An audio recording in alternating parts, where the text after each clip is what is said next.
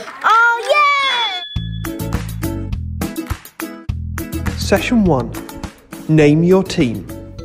Hello, welcome to the first session of your new First LEGO League Junior season. In this session, you will introduce this season's challenge, Mission Moon, as well as explore the first core values. Children who are new to First LEGO League Junior will learn about these important values, such as working as a team. Most of all, they will learn that this program is about having fun. Have your team share what they already know about the moon and space, and what they would like to find out. And what kind of people go in rockets? Astronauts!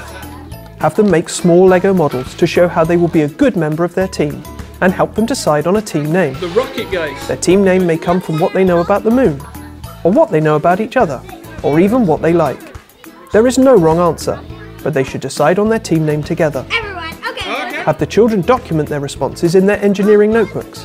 They will do this every session, and what they record can be used on the Team Show Me poster.